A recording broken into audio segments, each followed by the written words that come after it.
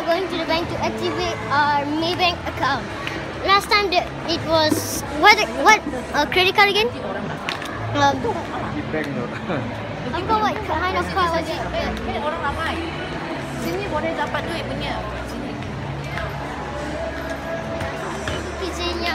It's basically for kids. So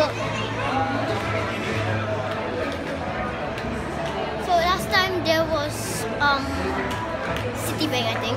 I forgot what uh, bank was it um for for Malaysia's. I mean for KL's um Kidzania, but uh, this but Singapore's is Maybank. I hope I, I thought I was hoping for DBS or Visa, but at least we got. Oh. Okay, tutup so much. Okay, bye. Okay, bye. See you in part three. Whoop.